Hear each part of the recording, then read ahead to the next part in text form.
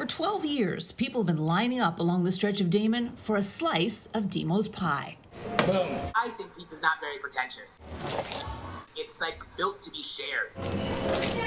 A feeling owner Dimitri Syrkin Nikolau has always taken to heart, Now you want some of that right there? Oh, well that's treating his customers and employees like family. It's about the, the good of the whole. But once coronavirus hit, Dimo's sales plummeted by 70%. How can we keep our people employed and how can we uh, help save people? And then when I realized that these pizza ovens could play a role, uh, I was like, well, this is, you know, we've done it. Let's let's make this happen.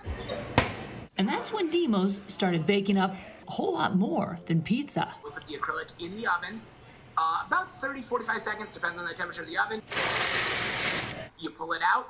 Uh, you gotta wear a couple sets of gloves because it's real hot. It Needs a little more time. Put it on top of the mold. The second part of the mold on. And you wait for it to cool. making them the only place in town that delivers freshly baked pie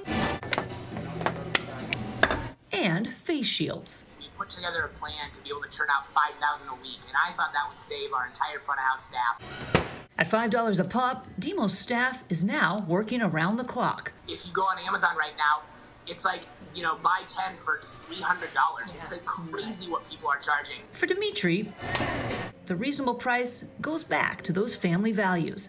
Keep your customers safe and your staff working.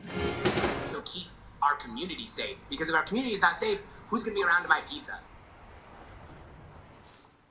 Right? Good point. You can't argue with that. So if you go to dimospizza.com, you can order any pizza you like and that fresh baked face shield. Uh, all of it's right there online. We'll post a link with this story. Uh, both, hey guys, are available for pickup or delivery. So two options there.